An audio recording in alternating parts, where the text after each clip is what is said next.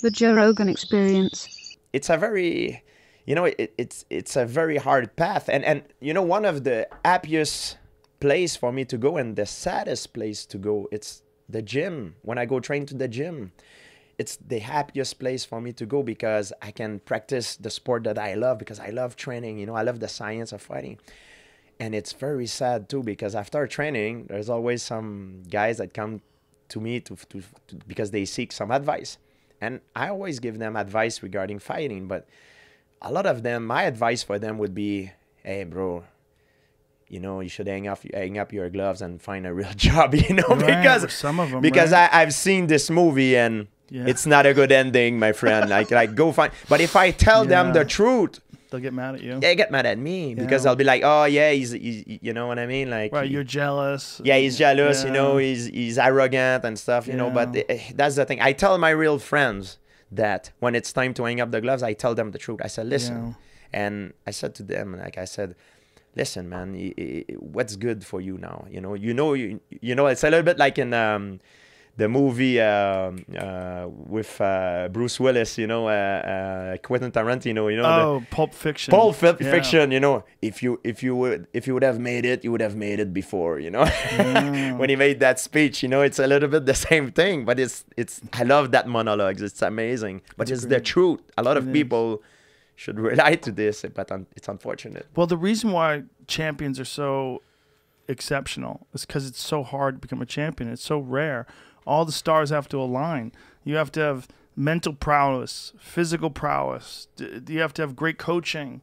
You have to have uh, so many different factors have to come together, and also fortune. I mean, you're a guy who's been through some surgeries, Yes. and we all know guys who uh, they get injured and they can never even train again. It, it happens. It's unusual, but it can happen. And we were dealing with this this giant hurricane of possibilities for someone to whoosh, boom come out of that and be a Georges St-Pierre or be a Khabib Nurmagomedov or a Jon Jones or someone who's exceptional. It's so rare. So when someone's kid comes up to you and says, "I'm going to be the next world champion," you're like, Uh, the possibility, the, the odds of failure are so "They're so high. so high. They're It's- so high." That's the thing. It's it's. I believe it's you need to have a certain predisposition. Yeah.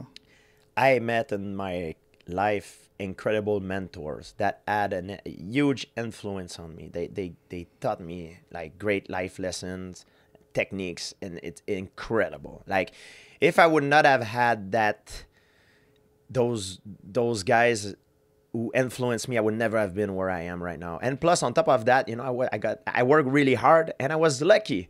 You know, like the star were all aligned, but you need all that. And you, know? you need you, the great coaching is so important too. There's so many guys that are really talented, but they they they have meathead coaches, and their coaches train them the wrong way, so they spar full blast in the gym, and then they go out and they they lose, and then they their their coach has them sparring a couple weeks after they get knocked out, and that kind of shit, and and they don't have the technical prowess, the technical uh, proficiency to teach a child or a kid or an athlete right. I- you, you, you can get unlucky, you know. I, I believe the best way to improve it's when it's playful. I've seen so many guys, Joe. I can't say names, but it's crazy how many guys I've seen that left their career in the gyms Yeah, because they spar too hard. Every sparring for them, it's it's about winning the rounds. Yeah, it's about life or death. You, you yeah. cannot improve like this. You need to be playful. Of Yeah. course, when you're in training camp and your fight is coming up, you need to somehow trying to recreate that environment of discomfort, that stress. But when you're outside of that preparation preparation zone, you need you need to be playful because and that's when you you improve when it's playful when it's like a game you know because you, you will be more prone to trying new things. And and by trying new things you, you'll you'll adapt you'll you'll be like oh this one works this one doesn't work. But the one that works i keep it in my back Yeah, pocket you know and it, it makes you grow. That's the problems you know i've seen like very often I see guys like sparring, they, they they they lose a lot of brain cells. It's terrible. It's terrible. Terrible. And I'm world I'm former world champion. You know, like when I've sparred with with guys, very often they're nervous, so they become all stiff. And when they hit, they hit so hard. I tell them, I'm like, you don't get ready. You don't have any fight coming up soon. Like just have fun, but relax. I tell them relax, and they very often they, they relax. You know, some will try to make you know. So I Try to have to answer back. off- I have to, but but very often they relax and and and, and they're surprised that because it's so so much of an egotistic sport you know like we have this mentality that oh if the guy tell you to relax because he's scared you know? Right. it's so stupid you know but it's that's how if you want to improve you need to it needs to be playful. And and in everything you know you, we say oh you when i say sparring when i when i'm about to spar with someone i never sparred before i that's what i do i tell him i say hey would you like to play a little bit i don't use the word sparring because sparring is like aggression. It. I, I tell him, I say, hey, would you like to play a little bit there? Then we touch glove and we play. And and I never go hard. I always start very, very slow. And if I see that he's going too hard, I tell him, I say, hey, please go go go more more easy.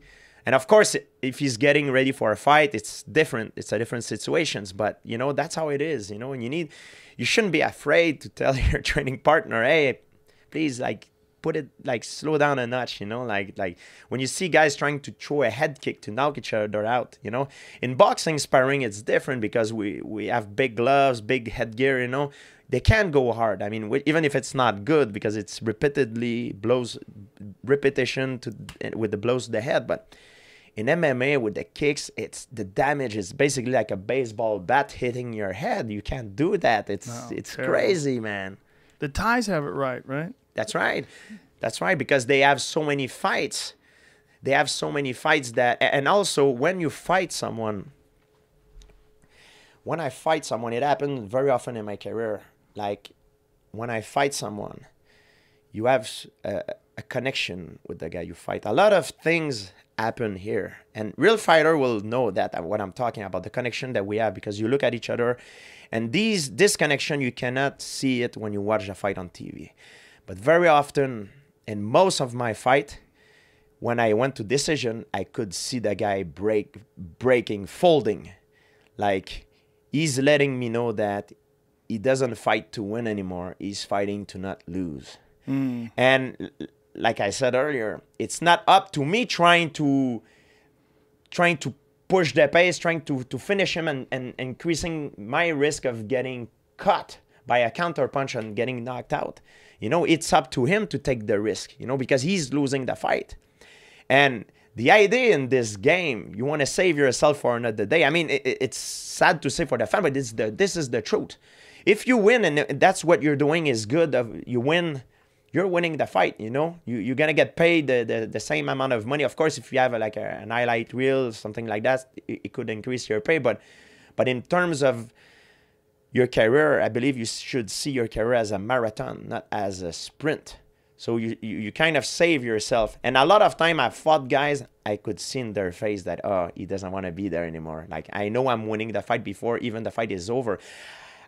They get desperate. Of course, they're gonna throw a haymaker or something, but I know they're not gonna take any risk because they they're they're hurt.